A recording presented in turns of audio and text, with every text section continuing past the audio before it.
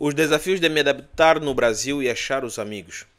Bora lá ver o vídeo da Catiuxa. Se adaptar à nova cultura, principalmente para vocês que vêm da Europa Ocidental, da Europa Oriental, desculpa, da Europa Oriental, é complicado, né? Até não, não é complicado, porque na verdade nós jovens temos uma capacidade de adaptação muito forte e muito rápido. Então, eu acho que isso facilita, ajuda muito, principalmente quando estamos a falar sobre é, lidar com pessoas. Agora, o clima é uma coisa diferente, se, se adaptar com o clima.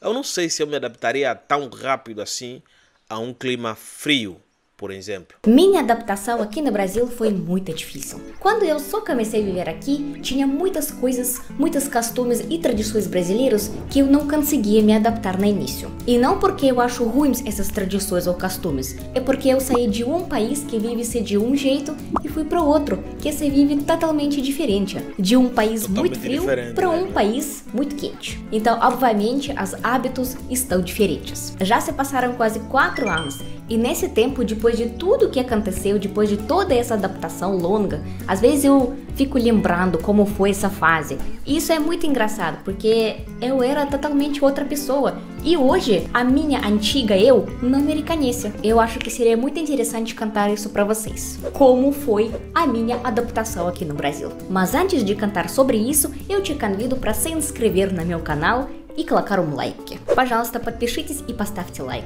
Se inscreva, por favor, e coloque like, obrigado. Paskiski Kaptaviski, jura.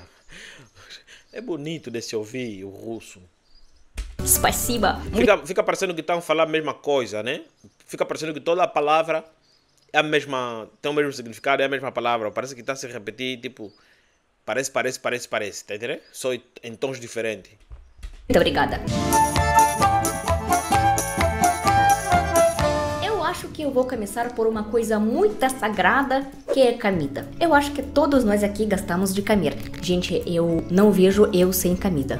Eu adoro comer, eu como em qualquer ocasião que pode. E quando eu comecei a viver aqui no Brasil, eu não conseguia comer comida brasileira. Opa, opa, eu não falei que a comida brasileira é não gostosa, tá? Espera aí. No início, eu não conseguia comer comida brasileira porque para mim ela era muito temperada. Muita sal, muita pimenta, muita alho, muita cebola e vou te falar um segredo, que hoje eu não consigo comer sem todas essas coisas. Para mim é necessário ter muita sal, muito tempero, muita alho, muita cebola, mas antes eu era pessoa diferente. Porque na Rússia, quando a gente cozinha, a gente não coloca tanto alho ou tanto tempero. Quando eu fui para a Rússia ano passado, para mim a comida parecia sem sal, porque aqui no Brasil tem costume de colocar bastante sal, sabe? E mais uma coisa que eu percebi sobre comida brasileira, que vocês comem muita pouca sopa, que para mim no início era uma tragédia. Porque na Rússia nós acredita que quanto mais comida líquida você come, menos problemas com o estômago você vai ter. E aqui ah, é justo, por causa daquela, daquele estereótipo que tem. Ah, estereótipo não, é verdade. Tem que aquecer o estômago para manter-se sempre o estômago ativo, né? O estômago ativo não, o estômago aquecido. Porque um estômago que não fica aquecido é aquilo que depois traz fadiga, uh, traz um monte de problemas de saúde lá para frente. Então, tem que aquecer sempre o estômago, porque ali na Rússia faz muito frio. Então, chá, café, chá e sopa são coisas que, querendo ou não, eles vão consumir agora. As razões, eles podem inventar o que quiser. e a comida um pouco mais pesada, né? Arroz, carne, tem menos sopa. Mas isso não durou muito, até eu descobrir que vocês comem sopa, só no frio. E tem gente que ainda Aquilo fala... que eu disse, escutou? Escutou? Escutou? Eu, por exemplo, gosto de tomar sopa de manhã muito cedo, para para começar já o dia com alta astral. Se não for uma sopa, um café. Supimpa. Que sopa não é janta. Caraca, como que sopa não pode ser janta, gente? Sopa não é janta, meu. Sopa não é janta. Tem muitos legumes, tem carne, tem carboidrato dentro de sopa. É tudo que a gente come, só que líquida. Então eu sou a favor do time que sopa é janta sim. É complicado. Complicado. Ah, não, se você já comeu uma comida muito pesada de dia, aí sim, pode ser uma janta, assim. Mas me diz aqui nos comentários o que, que você acha. Sopa pode ser uma janta? Na minha opinião, já digo, eu não, não, não, sou, não, sou da, não sou do grupo que acha sopa uma janta. Se você for, não tem problema nenhum. Cada um acha o que quiser. Tem pessoas que jantam mata-bicho. jantam mata-bicho, tipo, comida do café da manhã é que comem no jantar, entendeu? Mas, mas é, esse essa lógica que ela usou pode se aplicar muito em pessoas que já comeram coisas muito pesadas durante o dia. Então, pode tomar uma, um, um, uma sopinha na hora da janta e tá sopinha, pá. Será almoço e pro todo dia, como lá na Rússia. Como eu falei, eu sou Kátia, é muito diferente da Kátia antiga. Então, hoje em dia, eu adoro comida brasileira. Todo meu almoço que eu casinho de cada dia é arroz, com alguma coisa russa, brasileira, então eu misturo duas culturas, duas culinárias. Mas eu adoro comida brasileira, especialmente mineira, hein? Delícia! E outra coisa que foi um pouco surpreendente para mim, mineira, que vocês não tomam chá. Tipo, até tomam, mas com pouca frequência. Então no início foi bem difícil achar um chá gostoso, sabe? E é muito engraçado que vocês brasileiros bebem chá só quando dói alguma coisa. Então cada Cada chá tem sua função. Camomila é para dor de cabeça. Boldo é para dor de estômago. Capim cedreira é para não ter diarreia. E várias e várias outras funções. Então, quando eu tomo chá, as pessoas me perguntam: Ah, você tá doente? Hein? Então vocês tomam chá só quando estão doente? É isso? Eu não, hein? Mas eu respeito essa cultura, porque Brasil é país de café, então obviamente que todas vocês tomam café, mais do que chá. Hum.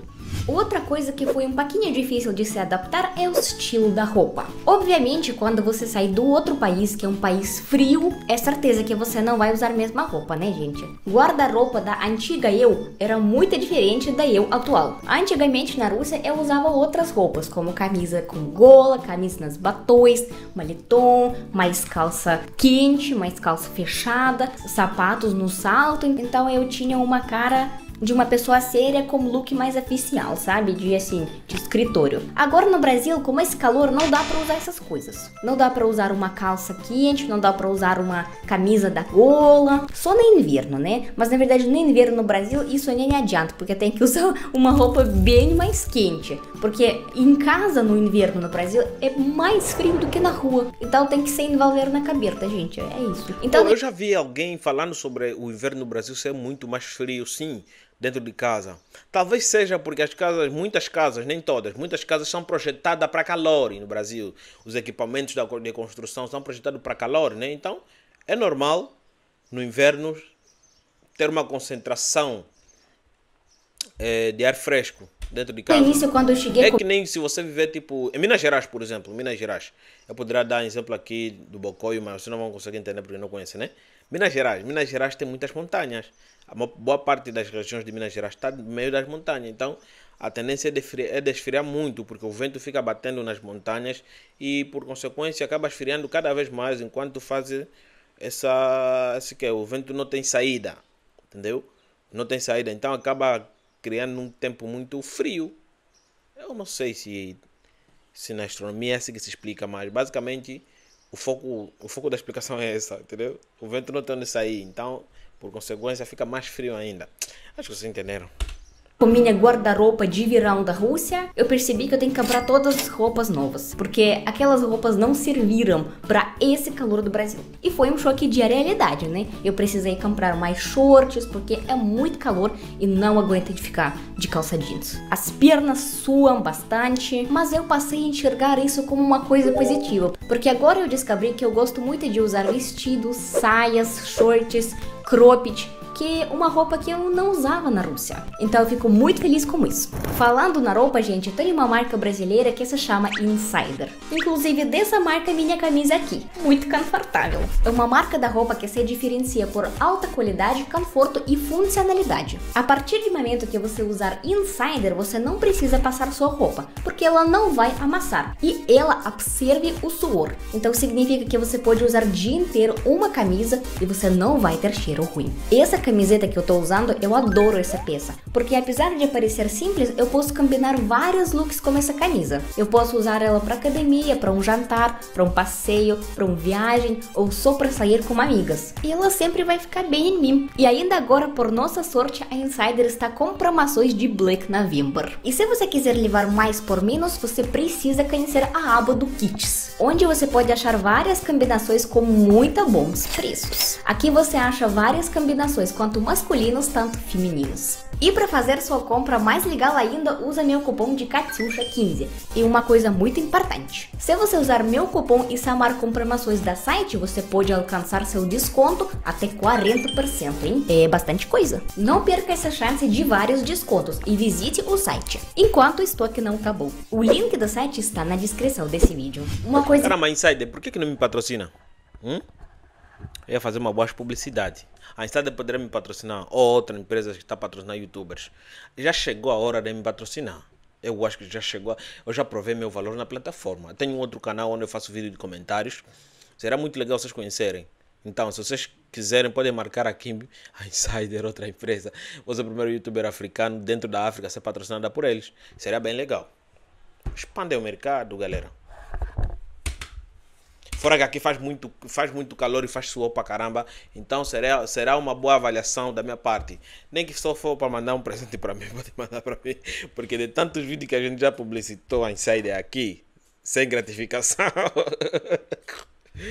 tá bom, vamos continuar meu vídeo que inclui nessa fase difícil de adaptação é não conseguir achar amigos. Na verdade, eu sinto um pouquinho de vergonha para cantar isso, porque é uma coisa um pouco pessoal e eu me sinto envergonhada que eu não consegui achar amigos no início aqui no Brasil. Eu lembro de um acontecimento muito bem. Quando eu comecei a viver aqui, eu comecei a frequentar a academia. E para falar a verdade, eu estava desesperada em achar algum amigo brasileiro, porque eu precisava de conversar com alguém, eu precisava de praticar meu português e eu necessitava de alguma amiga. E quando eu ia nessa academia, eu conheci uma moça. Ela foi perguntar quantas séries ainda falta no aparelho. E eu lembro que cada vez que a gente se encontrava lá, ela falava um monte comigo. Ela se perguntava como foi meu dia, como foi minha vida na Rússia. E por fazer tantas perguntas, eu achava que ela estava interessada em minha amizade. Então eu criei muitas expectativas. E um dia eu chamei ela para sair. Mas eu lembro bem que a gente não combinou nem um dia, nem horário, nem local. Então foi uma coisa não estabelecida. Quando na Rússia você quer marcar alguma coisa, você marca com certeza. Mas no Brasil não, né? Quando alguém te fala, vamos marcar, vamos marcar, é, geralmente ninguém marca. E eu não sabia disso no início. Então ela falava: Ah, sim, um dia a gente sai, um dia a gente sai. E eu esperando esse dia chegar, eu esperando. E nunca chegou. E até hoje ela não me chamou e simplesmente parou de falar comigo. Então esse acontecimento foi perder confiança em mim mesma. Eu não conseguia entender porque ela não quis ser minha amiga.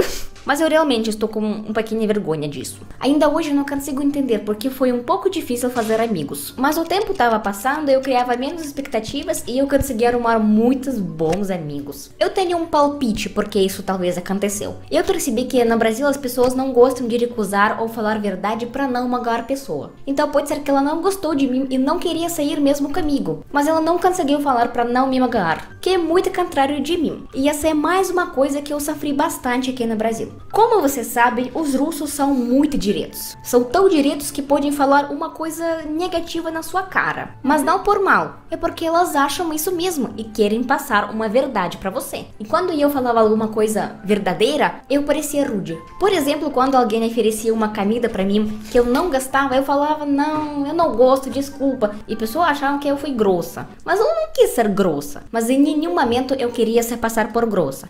Eu só queria falar a verdade e ser direta. Para isso, depois de quatro anos, eu aprendi que não em todas as situações você pode ser direta ou falar verdadeiramente. De um lado, isso é mesmo muito bom, porque desse jeito você não estraga laços e relacionamento com essa pessoa. Mas do outro lado, é ruim, porque você passa totalmente outra coisa para essa pessoa. E a gente tem que saber falar. Eu não quero, eu não gosto. Não, não pode pegar essa coisa. E última coisa da minha adaptação. Cara, ela falou muito bem sobre esse ponto. Eu, eu acho que essa parte dos brasileiros eu posso caracterizar como empatia, sabe? Empatia, sensibilidade. Porque se você tem empatia por uma outra pessoa, claramente que em qualquer tipo de situação você vai se meter no lugar da pessoa, né? Como é que a pessoa se sentiria? Como é que eu me sentiria? se tivesse alguém do outro lado falar a, a, do tipo, estou oferecer uma coisa de coração, porque na maior parte das vezes quando a gente oferece alguma coisa é por educação. Se alguém vem na minha casa, por exemplo, eu não ofereço nada, porque eu sei como é que é angolano. Angolano não vai falar não, angolano não fala não para outro angolano e... Oh, esqueci. angolano se você oferecer almoço, vai falar tá bom, tá, tá obrigado. Vai te dar um trabalho para cozinhar? Não, angolano não oferece nada.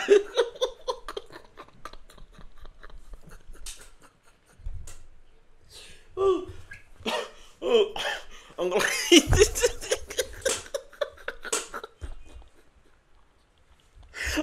Angola... Angola... Angolanos esquecem. Eu não sei se é por causa da fome. Cara, você vai. Oh, oh, meu coração tem parado de bater.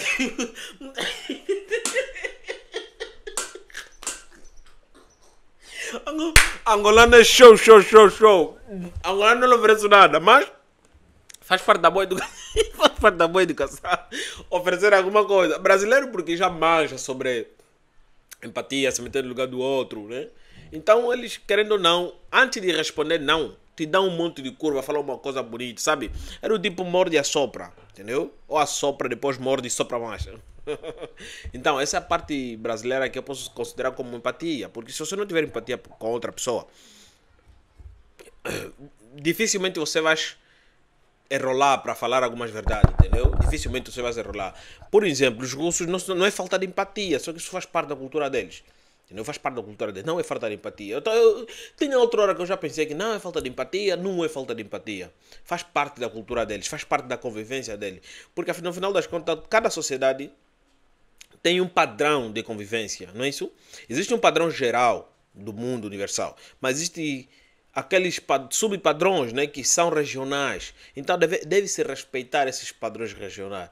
Mas, cara, se você vier viver, pra, vier viver em Angola, não ofereça qualquer coisa por educação para um angolano. Tem que ser algo específico que você esteja preparado para uma resposta do tipo sim, entendeu? Ou gostaria de tomar uma sopa, ele vai falar sim, você não tem sopa, fica como? Entendeu? Às vezes tem compromisso, ele já falou sim, fica como? Vai falar, fica para outra hora? Não dá, né? Mas agora, Brasil, por exemplo, é, é, um país que você não pode falar as coisas diretamente sempre, né?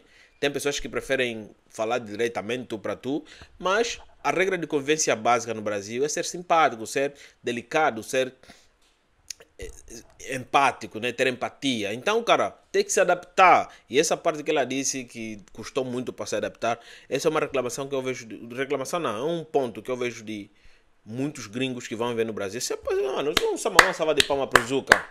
Mas eu até pensava que os, os, portugueses também são assim. Eu pensava que era arrogância. Não, não é arrogância. É só regra de convivência deles, entendeu?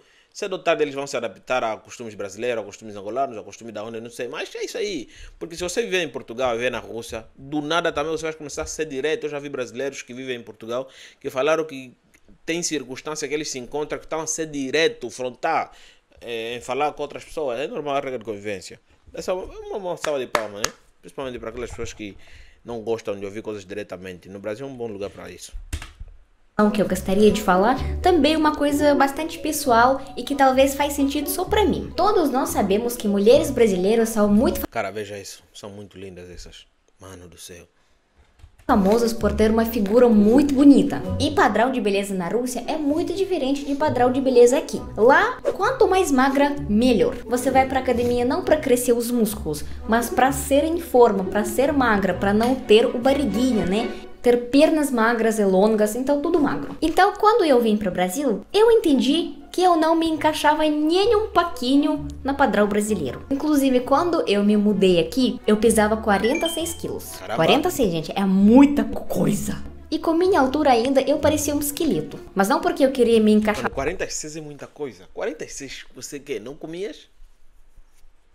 No padrão russo. Não, é por causa da genética. Minha mãe e minha avó eram muito magrinhas também na adolescência e na juventude. Hoje em dia eu peso bem mais. Mas mesmo assim eu ainda não encaixo no padrão brasileiro. Então quando eu saio pra rua eu vejo as mulheres brasileiras bonitonas. Quando eu vou pra academia é totalmente outra realidade. E às vezes isso me deixa sentir um pouco incompleta. É uma coisa pessoal e talvez só da minha cabeça. Mas fez bastante tempo parte dessa adaptação que eu não conseguia aceitar. Hoje em dia eu me sinto diferente e gosto de mim, graças a Deus. Porque é ruim sempre viver como algum complexo na cabeça. Eu acredito que eu cantei para vocês principais aspectos da minha adaptação aqui no Brasil. Como eu disse no início, já se passou 4 anos e eu já não vejo todas essas coisas como dificuldade e como minha vida. Eu já aceitei e adoro Brasil. Adoro comida brasileira, adoro brasileiros, estilo da roupa tudo, gosto de tudo. Eu sei que tem bastante pessoas que assistem meus vídeos